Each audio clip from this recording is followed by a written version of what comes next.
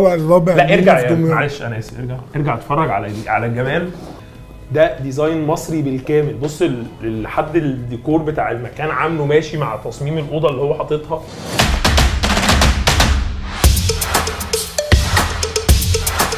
الحلقة اللي فاتت كنا في دمياط الجديدة. بما إننا جينا دمياط فكان لازم نشوف عفش البيت لأن أكيد كل الناس عايزة تيجي تجيب عفش بيتها من دمياط. دي حاجة عالمية يعني دي انت لو جايبها من بره مصر أو من بره دمياط لو لقيتها يعني دي أعتقد هتبقى بضعف الرقم على الأقل. لا أكتر طبعا بكتير. أكتر من ضعف الرقم. طبعا. عشان كده قررنا نيجي لأكتر مكان سري للعفش في دمياط. بتيجي من السودان بقالها سبع سنين عشان تجيب العفش والأساس من هنا من قلب دمياط من المكان ده تحديدا. مكان ممنوع تخش فيه أي كاميرا. مكان هو أكبر مكان للأساس في دمياط كلها. 10 أدوار من الأساس كل دور على مساحة أكتر من 800 متر. متخيلين إحنا بنتكلم على حاجة كبيرة قد إيه؟ لو مش متخيلين لازم تطلعوا تشوفوها من فوق قبل ما نخش جوه لأول وآخر كاميرا هتصور جوه المكان ده. يلا بينا.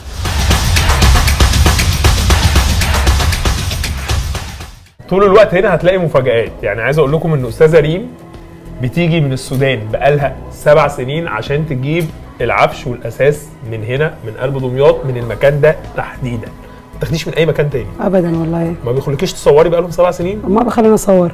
بس بناخد. كده بناخد بس بناخد ما شاء الله الحاجة تدخل المعرض بتطلع على طول. وليه مصممة بقالك سبع سنين إنك تيجي تجيبي. العفش بتاعك من هنا؟ الجوده المتانة الفخامة التميز في الذوق. في حاجات متميزة في حاجات آه، غير غير صراحة طب بما إنك بما إنك تاجرة قولي لنا مثلا حاجة زي كده بيبقى إيه إيه اللمسات الفنية اللي بتبقى عندهم؟ يعني؟ ال cushion آه. القماش تعالي الخشب. نتمشى نفرج الناس الحاجات. الاهم حاجة شاغلني المساحة الكبيرة. آه، كله دور 800 آه. متر ما شاء آه، الله لا، ف- ما شاء الله، الله أيوه. أكبر يعني. غرف النوم حقتهم مميزة ال cushion في الانتريه. ترابيز مختلفة. يعني أنت ممكن تشوف الطقم في معرض تاني مش زي عندهم. وبتصفروا بقى الحاجات إزاي وبتنقلوها إزاي؟ بنوديها عن طريق؟ شرك شركات شحن. هم نفسهم بيوفروها لنا وبياخدونا الحاجات كلها معاهم يعني. توفيق ومنورينا. وإن. شاء الله. ترجعوا تاني. الناس كلها تيجي هنا. مليون خير يا رب يا رب. استنوا عشان لسه هنشوف بقية القصص في المكان. يلا خلاص. يلا بينا. الله يسلمك. شكرا. اتفضل. بصوا اللي هيشوف حلاوة المكان هيفهم ليه دي موجودة في كل حتة حرفيا. وعند الكاشير أنتوا كاتبين ممنوع التصوير حتى بعد الشراء. أيوه معايا يعني مبدأ فدي أول وأخر كاميرا هتخش المكان ده. طبعا. محمد ناصف معانا؟ صاحب المكان يعني المكان ده بس 8000 متر أساس. 10 أدوار كل دور ما شاء الله على 800 متر. الحاجات دي ما حدش هيشوفها تاني. أيوه. فدي أول وأخر كاميرا معاكم هنا في اليوم السابع. للناس بقى اللي بت... العرسان الجداد العرايس الناس اللي بتفكر تشتري آه، يعني عفش بيتها اللي جاي يشتري العفش من دمياط هتشوفوا لمسة فعلا مكان سحري. بص هو الفكرة الحاجات عندنا ان التشطيب؟ الداخلي زي الخارجي بالظبط. يعني مش بنهتم بره بس و... وبنسيب جوه كله خشب طبيعي قشره طبيعية. ده الداخلي عندنا. بنخاف جدا على الموديلات. بنصرف جامد على الشغل. بنهتم بالد... بالدهان الداخلي أكتر من الخارجي. ميكانيزمات كلها. soft close؟ حتى الأدراج دهان جوه زي بره. الدقة في التنجيد في الموديل في اختيار القماشة في أقل التفاصيل في الصناعه الخياطة. المصرية؟ مفيش غلطة. دقة في القماش في اختيار الرخام في اختيار الموديل في البلواز. أفكارنا كلها جديدة. الموديل من أوله لآخره بناخد ضرفه هنا وفي النص ثلاث أدراج بعديها ضرفتين قطعه رخام قطعه خشبية قطعه رخام التابلو ده بيتعلق على الحيطة البلواز فكرة إن الترابيزة كمان الكراسي كلها تكون متداخلة عشان تيجي في أي مساحة. بص على مستوى ال- الانتريه الموديل التنجيد. بما إن إحنا يعني إيه دي أول وآخر تصوير هنعمله في المكان ده. تمام. شوية كلام عن الأسعار. تمام. عشان اللي بيتفرج دلوقتي هيبقى في دماغه الأسعار برضه. إحنا عندنا يعني حاجة مثلا شبه السفرة اللي إحنا شفناها دي. السفرة دي مثلا بعد الخصم 75 ده سعر نهائي خشب طبيعي كله. دهان دي جوه زي. بره. طبعا. امم دي حاجة بقى زي الشغل الإيطالي بالظبط. زي الشغل الإيطالي. بالظبط. دي حاجة عالمية. يعني دي أنت لو جايبها من بره مصر أو من بره دمياط لو لقيتها يعني دي أعتقد هتبقى بضعف الرقم على الأقل. لا أكتر طبعا أكتر من بكتير ضعف الرقم. طبعا. لو إحنا داخلين لقينا ناس جايين من السودان بياخدوا العفش يصفروه السودان. بقالهم أيوة. سبع سنين بيجوا يشتروا بياخدوا السودان. مننا أيوه طبعا. هم زبايننا في ناس من دول كبيرة. كتير بتيجي؟ صدرت جميع الدول. مم. أوروبية وعربية الحمد لله. الحمد لله. ودينا فرنسا ود... جميع الدول وديت موبيليا طب تعالوا نفرج الناس على قطعه تانية تعالوا اتفضل. علشان أنا عايزكم تشوفوا اللي بيحصل. يعني خلي بالكم إحنا كنا بنصور حلقة في دمياط الجديدة. عن دمياط الجديدة والمشاريع والتطوير. فعرفت برضه. حكاية المكان هنا. فقلت أجي إن أنا بحب الح... الحاجات اللي فيها صنعة مصرية مختلفة. أنت بتتكلم على 8000 متر. يعني الراجل اللي قدامنا ده اللي هو في الأول يعني شاب مصري عامل 8000 متر أثاث في مكان واحد وعنده أكتر من مكان. فحاجة يعني لازم تقف قدامها تتفرج. ده الفرع الجمال ده؟ ده الفرع الرابع لا ارجع. معلش أنا آسف ارجع ارجع اتفرج على على الجمال. ده design مصري بالكامل. بص لحد الديكور بتاع المكان عامله ماشي مع تصميم الأوضة اللي هو حاططها. dressing في خشب في ضرف خشبية. الخشب طبيعي جدا. القشرة اللي بره زي اللي جوه برضه جامد بالظبط. يعني؟ آه طبعا؟ مخبط، أيوه طبعا. جامد. حتى الشماعة هنا زان. الشماعة زي نفسها زان. العليقة زان نفسها. هنا الضرف dressing ده الدولاب من جوه.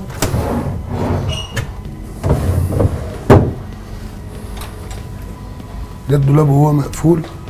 حتى الشماعة اللي هي أبسط حاجة في الأوضة بنع- بنعمل كل أوضة بالشماعة بتاعتها بنهتم بيها. ال finish الداخلي عندنا يعني ده البف اللي هو أبسط حاجة تكون في الأوضة. ده ال finish من جوه زي الشغل الإيطالي. بالظبط. على خاماتنا. وعلى خشبنا. هنا الصالون ال modern الكنبة أربع مقعد والكنبة التانية أربع مقعد زيها. الاتنين زي بعض في الحجم. دي حاجة ضخمة. صالون modern خالص. قماش معالج طبعا. الترابيزة عندنا اختياري. دول هنا ترابيزتين واحدة لون ال cushion هنا وواحدة فاتحة لون الكنب. بيبقى عندنا دقة حتى في اختيار الرخام. في أدق التفاصيل. أنا عايزكم تتفرجوا أكتر. أكتر حاجة بحاول أسرق لكم أكتر حاجات. لأن ده دور واحد في ثمان أدوار. تمام. عارفين إحنا يعني إيه؟ ده ده هنا ده النوم. ده اللي عرفنا نسرقه منه. ده هنا النوم. الدولاب ده عبارة عن ثلاث غرف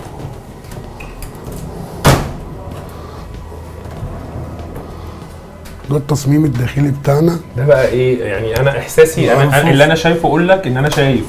صنع الدمياط الأصيلة قوي بس مع شياكة طبعا وحاجة مودرن طبعا قوي. هنا الجزء الثاني أهو. بصوا التقسيمة. عشان حتى أنا عارف ال- الناس بتهتم بالتفاصيل حتى اللي جوه دي. أنا بحبها الحاجات دي الدرج الداخلي. الحاجات. الصغيرة دي أيوة بت- طبعا. بت- بتشغلني أنا بقى. طبعا. بص إحنا بنسحب الضرفه مش, مش سامعين صوت خالص. بص حتى هنا ال- التسريحة بتاعتها رايقة جدا. الأوضة دي مفيش فيها ولا مقبض. المقابض الم... المقابض كلها منها فيها.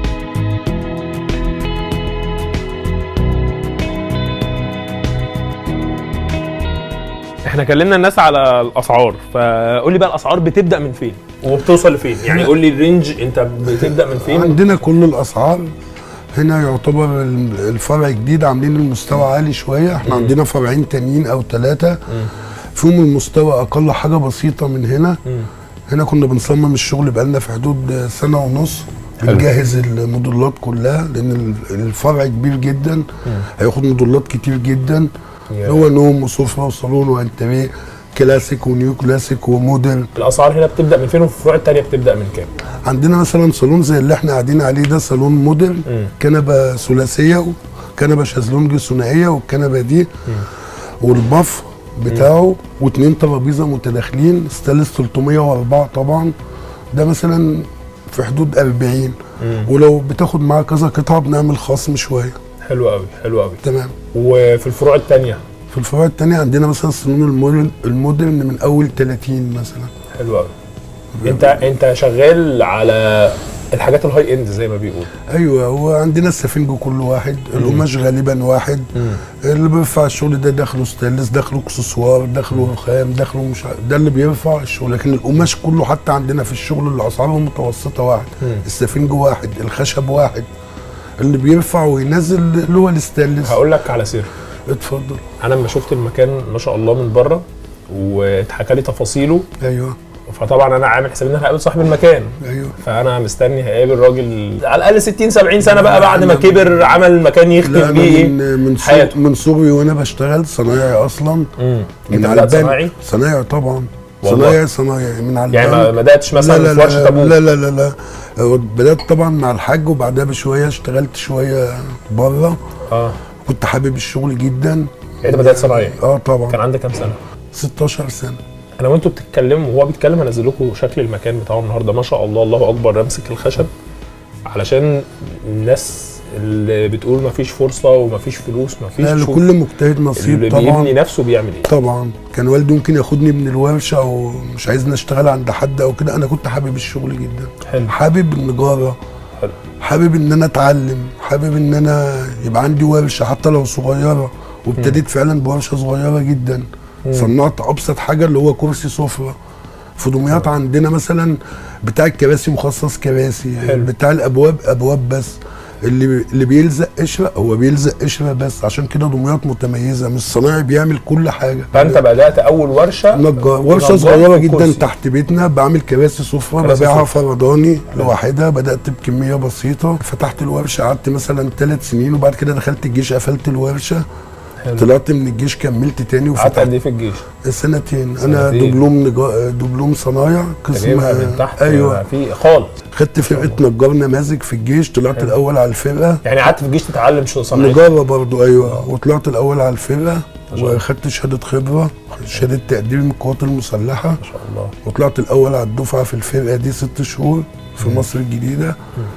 وكملت جيشي وطلعت فتحت الورشة تاني وكملت والحمد لله. لا احكي لنا بقى ربنا ورشة. جدا. آه أيوه. بعد؟ كده الورشة كبرت شوية. كنت ببيع الشغل خشب بس للمعارض. كنت بتعمل إيه عشان تكبرها بقى؟ كنت بشتغل. كام ساعة؟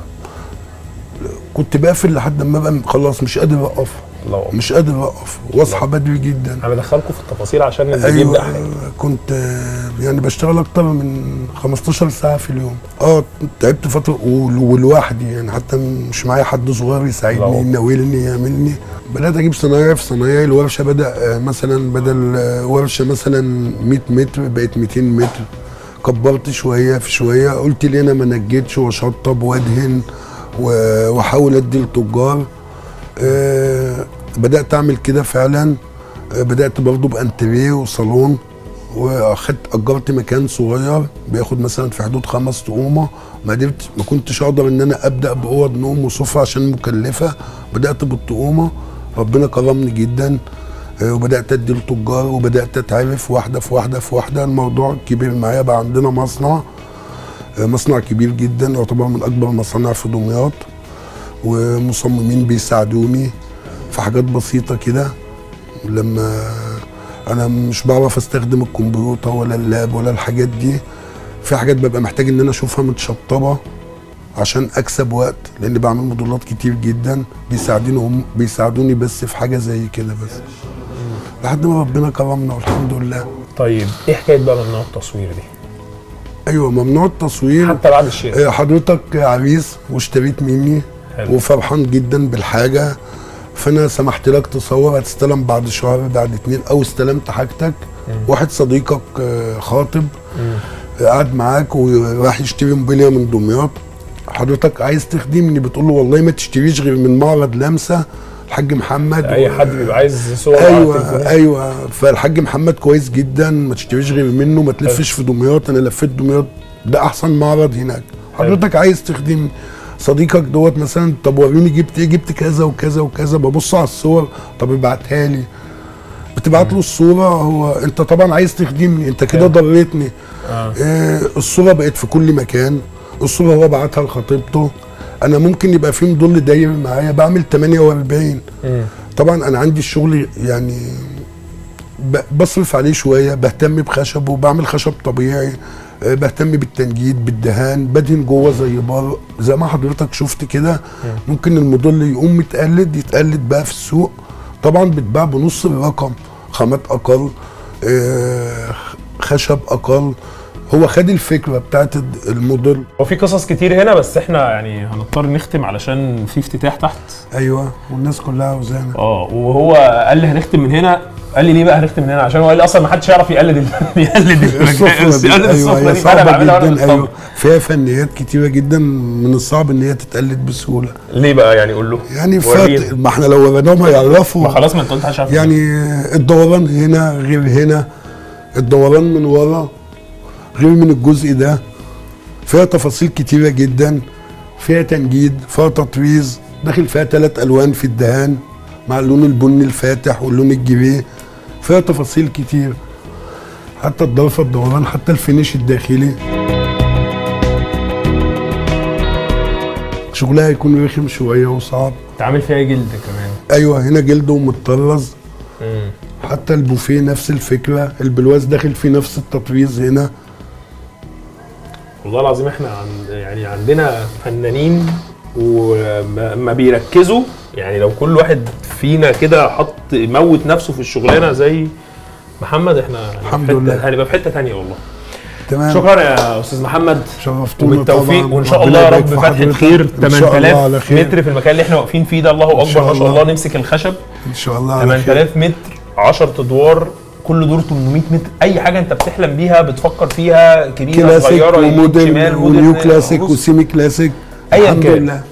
دمياط بقى الحلقة اللي فاتت أنتوا شفتوا حاجات الحلقة دي شفتوا الأثاث عندك بحر هتلاقي عندك نيل هتلاقي عندك كل حاجة بتفكر فيها هتلاقيها في دمياط يعني فهتيجي على هنا هتلاقي كل أحلامك بشكرك يا محمد حبيبي. إحنا اتفرجنا على شغل. جديد ومحترم الحمد لله. وتعرفنا عليك ربنا يبارك فيك ويا رب بالتوفيق والمكان ده يبقى واحد واثنين وثلاثة الله. وعشرة إن شاء الله. ونجي لك بقى مش في. القاهرة لأ بره مصر إن شاء الله رب. الخطوة الجاية تكون بره مصر إن شاء إن الله. شاء الله. إن شاء الله. بالتوفيق. ومليون نجاح كده ربنا وأنت يكرمك تستاهل كل خير. ربنا يبارك لك. شكرا ليكم وخليكم دايما معانا على تلفزيون اليوم السابع وبرنامج بيني وبينك. شكرا. لكم